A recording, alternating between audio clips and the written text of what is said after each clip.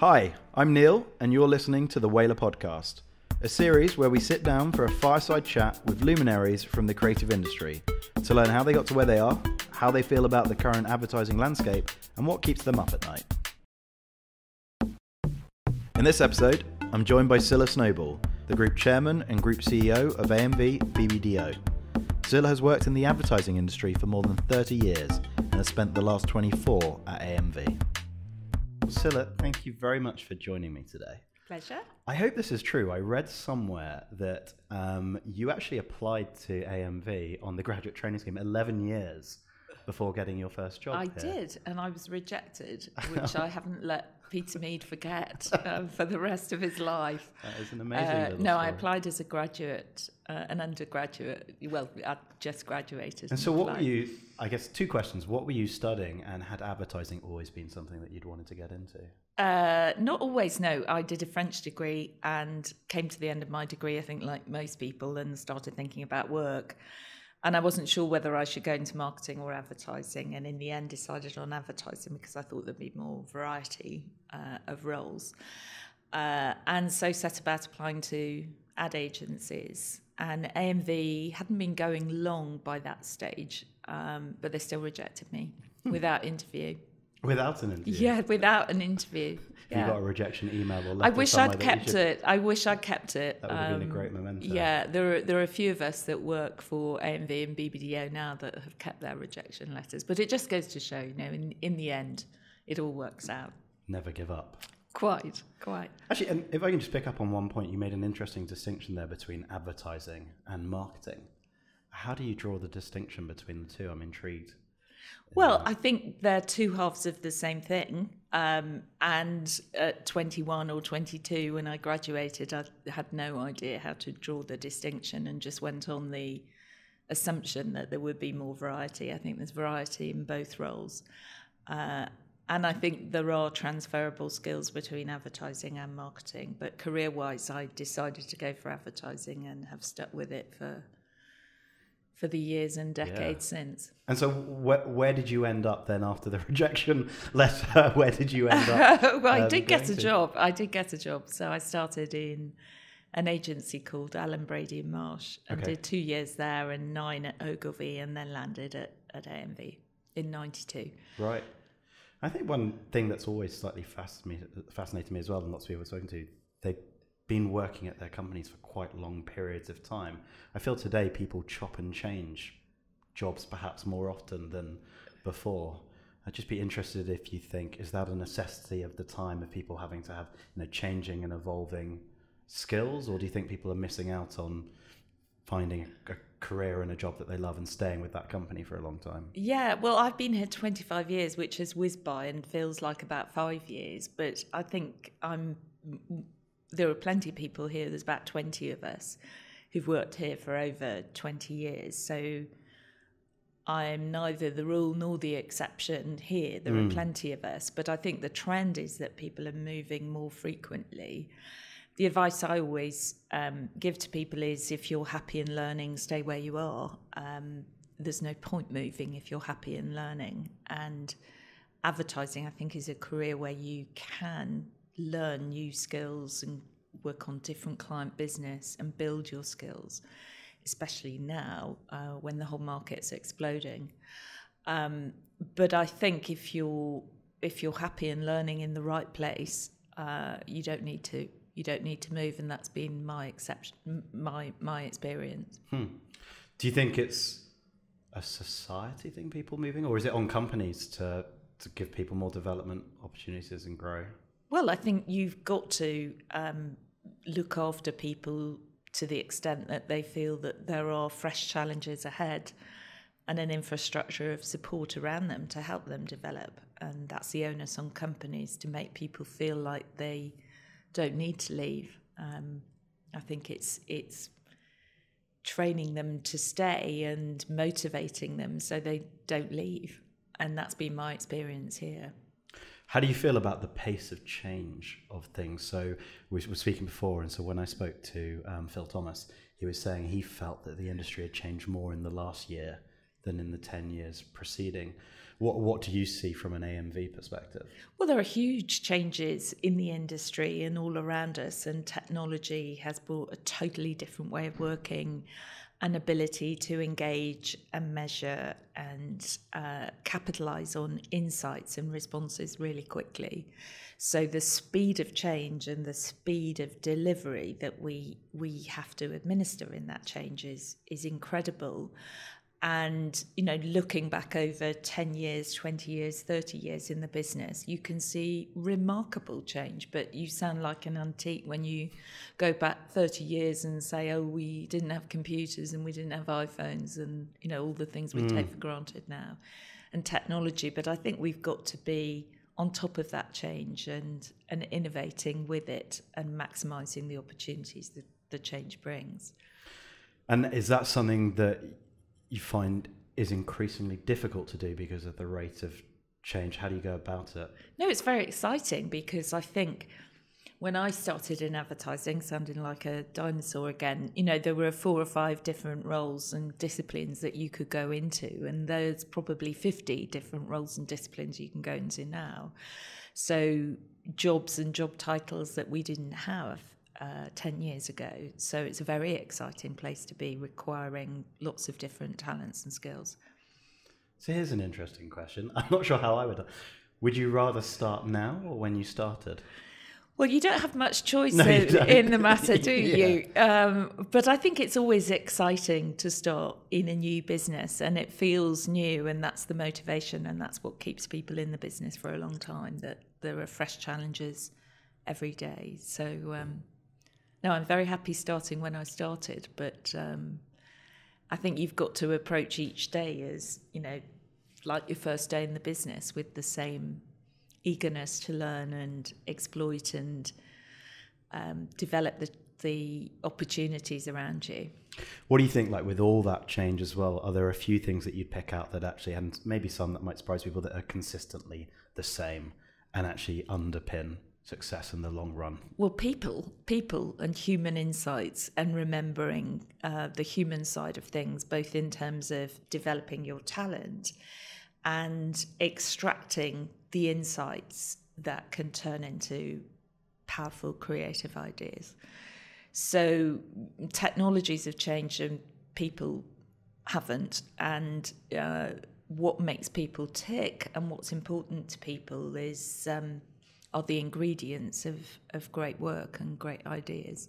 What keeps you up at night in terms of all that change, or just as a pure challenge to the business? Well, I think making sure that we are exploiting all the opportunities it brings and that we can simplify and focus within it because there's a whole wealth of opportunity and uh, opportunities to do lots of things, but keeping focus and making sure that technology simplifies things for people and makes life easier and making sure that the customer experience is two clicks, not 20. You know, those kinds of are we making things easy and simple enough? And I think that really is a key role for marketing and advertising to make customers' lives better and simplify things for people because with all this change comes a lot of complication. And I think the brands that really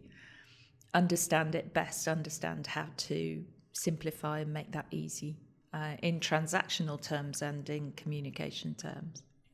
Do you feel uh, there's an element of that as well in not siloing different channels of marketing and trying to see it as an overall God, yes. Strategy I mean, I think like... ego and silo have no place right. in modern marketing and advertising, and they stand out so so horribly now ego and silo. Um, so i think you've got to collaborate i think you collaborate or die. And again just like there used to be five or six jobs there used to be four or five agencies on a client's roster. Now you're in a roster of about 15 to 20 specialists with whom you need to develop great ideas.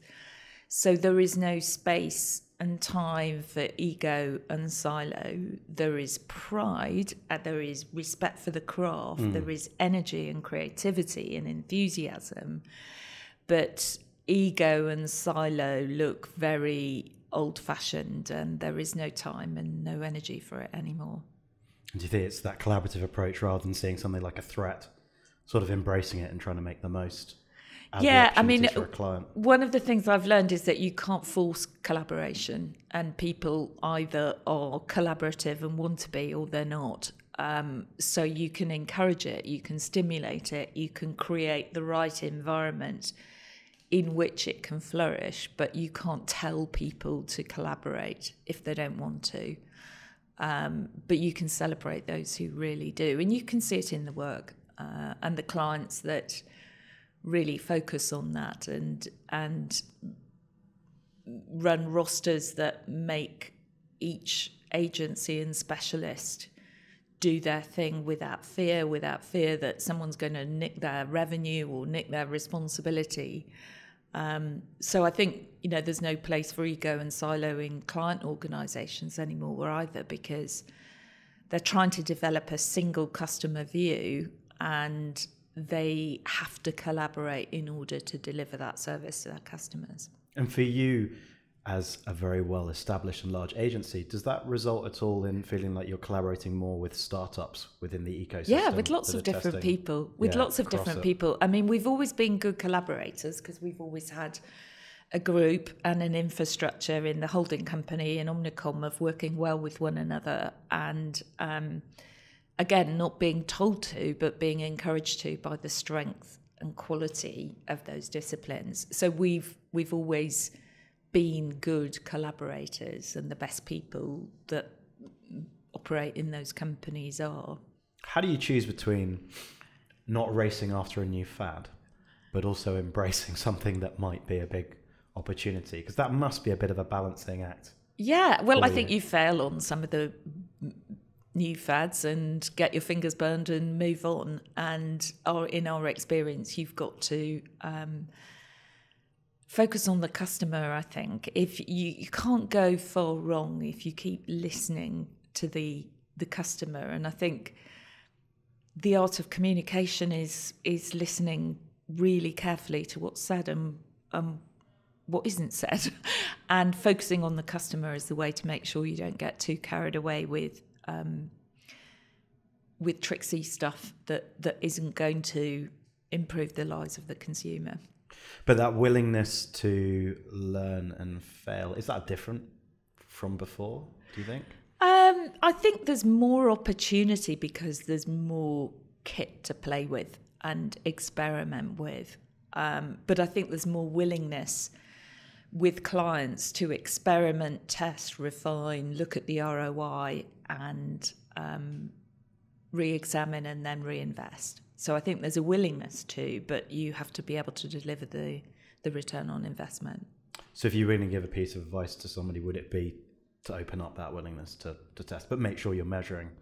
That- well, I think the advice is, you know, learn fast, fail fail fast, move on, learn from the experience. But you know, I think you've got to have a spirit of innovation and try new things. Um, we've we've invested heavily as a network in a curated crowdsourcing platform this year that's proving to be a really interesting model and delivering some really good work. Um, but we kind of Ubered ourselves in in in doing that. Um, and that is proving very popular with clients and very strong creatively. But it is a new way of working and something we're we're um, testing, and it's in beta, but it's so far it's going well. Is that your Fuse? A Flare studio. Flare, that's it. Sorry, yeah. apologies. And so that's essentially, you say to a degree, democratizing creativity. Would that be a right phrase for it, or how would you? Well, I think it? it's a, it's about innovation in creativity and finding better, faster, cheaper ways to get communication out to consumers, with consumers, for consumers, by consumers. So I think the, the old mantra of good, fast, cheap, take two, you can't have all three, has gone. I think you have to be able to be good, fast, and cheap all at once. That's interesting. I end up saying that with what we do at Whalar, and I always feel slightly cheeky saying it in a pitch, but it does fit fast, cheap, and high quality. And as you say, before that wasn't possible, but by opening up the world and you know there's lots of people willing to work on creative yeah it's hard. as well. it's hard to make all three work at once but talk to any chief procurement officer in town and that's what they want. Yeah. I guess it's it's all still comes down to that creative set of brand positioning briefing you know directing it. It's just using more resources to fulfill.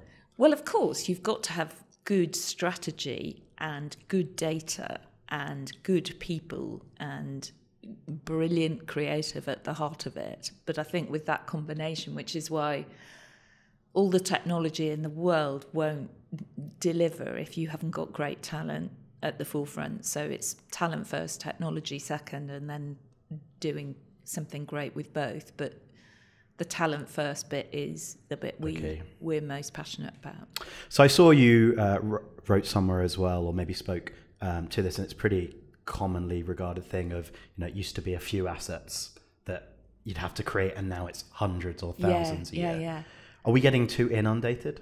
With advertising as a result? Are we becoming slightly bombarded? Bom- yeah, yeah. I mean, I think the surveys that are done saying people do feel bombarded by advertising. I know the the ad association regularly track this, and and the feedback comes back from the general public that they do feel bombarded and that there's too much advertising and not enough that really speaks to them creatively. So I think we have to make sure that our work operates to a central strategy, to clear insights that are meaningful and memorable, that our work moves people. Otherwise, it is it is bombardment. But I think you know the the point you're referring to is is probably a piece around you know we used to do one or two big pieces of content a year, and that was enough. And now there's hundreds, and it's a always on strategy and day in, day out, and it has to be very responsive.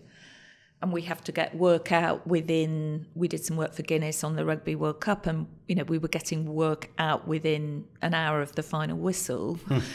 Whereas before, you know, the the work on Guinness would take months of planning, research, um, analysis, uh, improvement, development, and we're still doing that kind of hero work.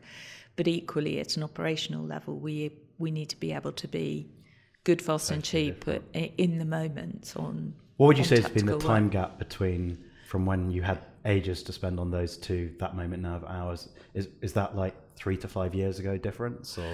Um, I think that's yeah, probably, probably. Um, and I think most brands now operate on that ability to be able to operate to the hub hero hygiene model that, that you need to do all three well, which is a, a function of good, fast, cheap. The big hero work still really important. Um, but hub and hygiene need to work in tandem and importantly everything should look like it's from the same stable and that it's joined up um, of course the other bit is it's not as if brands necessarily have more budget in the advertising to have all those assets which i think is why the good fast cheap is yeah, there as well. And if if you think of some of the work we've done on confectionery, and particularly for Mars on Snickers, you know, you're not you when you're hungry. You can see lots of content all around the world that is geared to uh, immediacy as well as the big brand uh, thematic work, and lots of really interesting, innovative stuff that we've done on on Snickers over the years. How do you feel about this as a, a, theme? It, it goes in with that, that more content being put out and more channels. So a notion that you know previously you'd, you'd create those two hero assets and culture for a brand's recognition within society and culture would be delivered from those big hero assets. Yeah. Now, if we went to a room of a hundred people, even each hundred person probably consumes a unique feed of content yeah. every day. Yeah. And kind of this notion that what was once top down culture setting is a little more bottom up today yeah. or somewhere in the middle and to the point if you're not getting in those micro moments exactly. of, of conversation of society then actually top down alone isn't, isn't going to work it, anymore. It isn't sufficient. I mean, I think the analogy that's often used is the difference between 10 pin and pinball that actually it used to be 10 pin bowling where you would put all your assets into one thundering ball and whack it down the the the the slide as fast as you could and as hard as you could to to achieve achieve the strike and and deliver the the impact. And it was like that but now it's much more subtle in terms of pinball where you know flippers assist the idea the ball moves in different directions things come in from the side the ball's always in play and it needs constant supervision it's not one big push so um, I, I think it's yeah, it's a really helpful one because it feels like it is. I mean, a launch is not a launch, and then it's over. A launch is the beginning of of a campaign effort. But I I think I mean we believe really strongly and passionately here in getting to platform ideas that that drive all those assets uh, Hero Hub and Hygiene assets. So on Guinness, we operate to Made of More as our platform idea all around the world, and all the assets are glued together by that that insight that it's a beer that's made of more for men that are made of more and drinkers that are made of more. And that that is the the central idea. So i think without a platform idea it can go all over the place. But with that strong insight driven platform idea, there's the capacity to do hmm. great work. What's yet to do at AMV? What if you could click your fingers and, and push through one change more quickly within the organisation or within the industry for you? What would what would it be?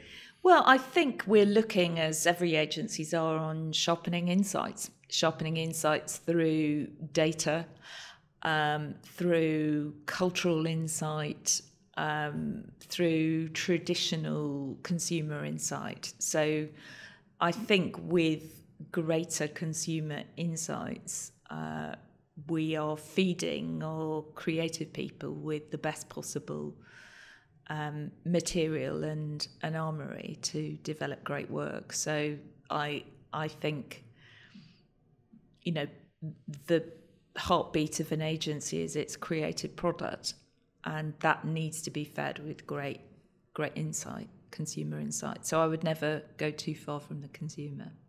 And what do you feel about the or or is it a challenge is the question. So i won't phrase it as what do you feel about the challenge? Is it a challenge with the new platforms of communication the new things that are needed to be done to reach out to people if uh, you or the team working on it are distant from the users of that platform. So, you know, if it's something like Snapchat, for example, and it's not yet used by the brand teams here, how do you get to embrace something like that and be able to know how to use it in a meaningful way yeah, for your clients? Really, really important. And I think it doesn't just go for the medium, I think it's the product and the message as well that, you know, you can't be really effective at selling something if you don't understand the medium and the message. I think and I Keith think spoke to the risk of like a lost generation of marketers, for example, that don't have that touch point. Yes, it. or the reverse sometimes is true, where you know the the media that we consume as ad people is different from the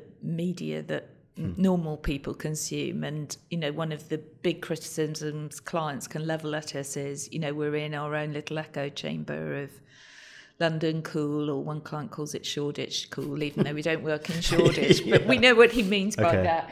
So I think it's not staying in an echo chamber is really important. And uh, how do you break that?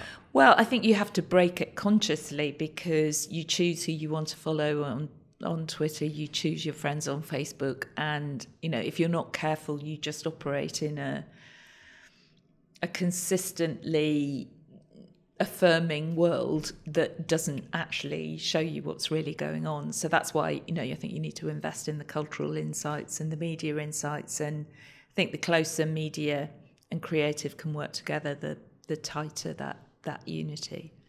But I think we have we have to be practitioners. We have to know what we're talking about, and we have to get out of London as well, because um, I think there is a, a as as various political events have shown recently, you know, the, the London perspective um, isn't always the national or the international perspective. Do you think that's becoming more important? Yeah. Yeah, with things. Yeah. Because of how interconnected everybody is. Yeah, back into groups in Manchester and, yeah. and uh, places around the country as well. So, if you had to predict the ways in which AMV might change in the next two or three years, what do you think that's going to look like? Well, we want to be um, the agency that is producing the best work that works best for our clients. So that's the central objective of delivering outstanding work that delivers results for our, our clients and having an unfair share of the best talent to to help us deliver that. So that's one of the things that hasn't changed and AMV is going to be 40 later this year and and that was the same on day one. Um, so that won't change. Do How we do it will. changing to, to fulfill it.